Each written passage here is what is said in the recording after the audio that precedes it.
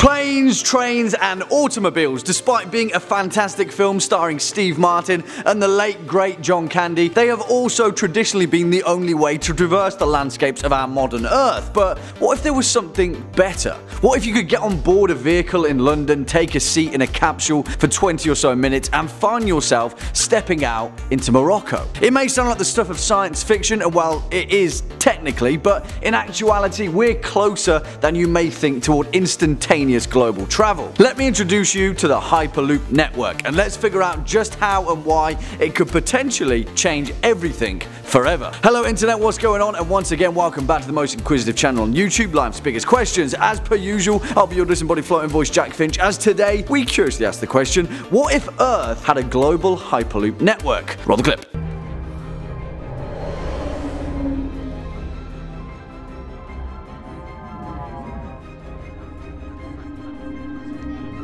Curious amongst you, that clip was from 2015's Tomorrowland, which wasn't exactly the greatest movie of all time, but it had some stunning visual depictions of a highly advanced technological society, and yet thankfully for us, we won't need to travel to an alternate dimension to experience the functions of Hyperloop technology, because as I said previously, we're much closer than you may expect to achieving instantaneous global transportation. But before we jump into the implications of a Hyperloop network on a global scale, let's first take take a quick look at just exactly what this thing is. In essence, a Hyperloop is a mode of transportation that consists of a system of sealed tubes through which a pod-like vessel is propelled free of air resistance or friction, conveying people or objects at massive speeds while also being very efficient. In essence, it's what you get if you cross a railway with those pneumatic mail chutes you see in the post office, just on a massive scale. But actually, the biggest proponent of the Hyperloop concept, the man himself, Elon Musk, who initially publicly proposed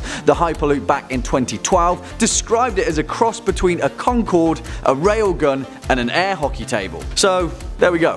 Another thing that Elon Musk is better at than me analogies. Musk marked the prospect of a hypothetical Hyperloop system with having five key characteristics for being successful for civilization. One, being immune to all weather. Two, being able to operate collision free. Three, capable of traveling at twice the speed of a plane. Four, operating at a low power consumption. And five, containing enough infrastructure and energy storage to operate at 24 hours a day. Through this model of operation, it hypothetically hits all the marks of any society's transportation wish list because in essence that's everything anyone has ever wanted from mass transportation. Move people and things from A to B in the fastest possible way in the most efficient manner. When we break down these five key characteristics we can avidly see the flaws in our current modes of mass transit. Planes are awesome but they burn a hell of a lot of fossil fuels and it takes massive amounts of energy to propel a giant steel bird at 135,000 feet in the air for a few hours. Cars are fun and sleek and stylish, but sitting in traffic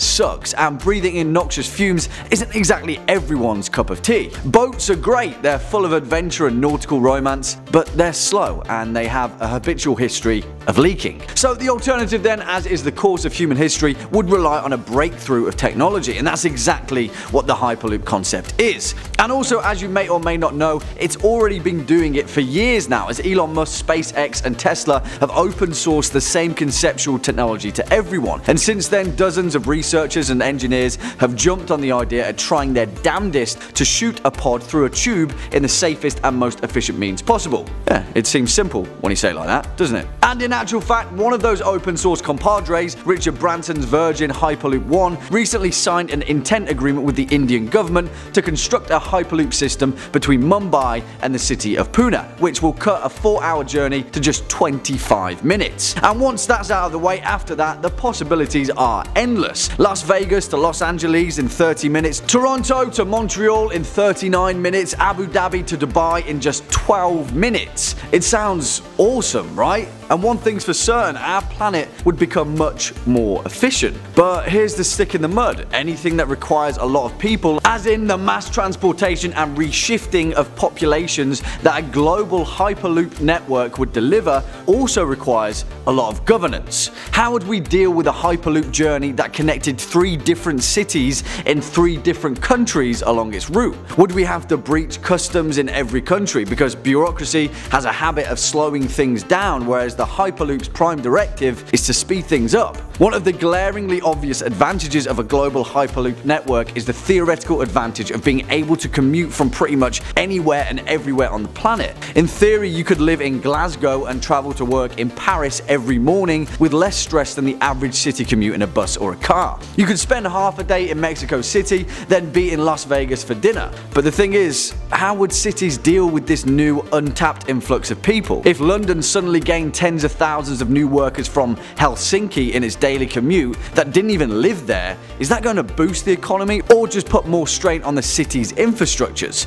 How would the municipal factor be effective? Who's going to check their passports? And then there's the whole issue of safety. The main advantage of a Hyperloop network is in its ability to transport a vessel at speeds of up to 800 miles per hour whilst also travelling in an airtight vacuum. But what happens when a natural disaster strikes? What if an earthquake shifts its tube system ever so slightly? How would emergency services even get inside a tube system that is devoid of all air to save the people inside? And now apply all of those issues thousands of times a day across the planet? Who's going to keep an eye on all of those potential disasters? Who's going to be checking the dials and monitoring the bleeps and the red flashing lights? Well, Artificial intelligence. That's who. A global artificial intelligence for that matter, and hopefully its name won't be Skynet. You see, all of these are valid safety issues, but all of them have a feasible answer and explanation that's already been thought of during its design. The issue isn't in addressing these safety concerns or any other concerns for that matter,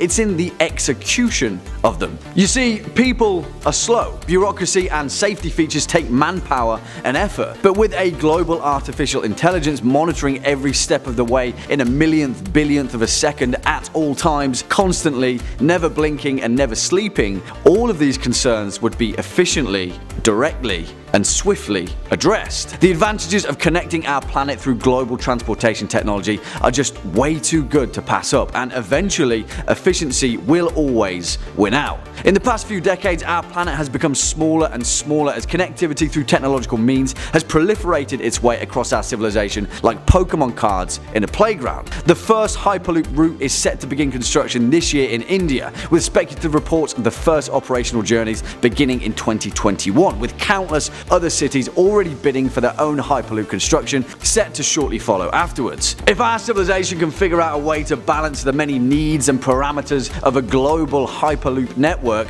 and apply it to every corner of the Earth, the rewards are endless, and our planet would be more connected than ever before. Hey, the future's pretty exciting, isn't it?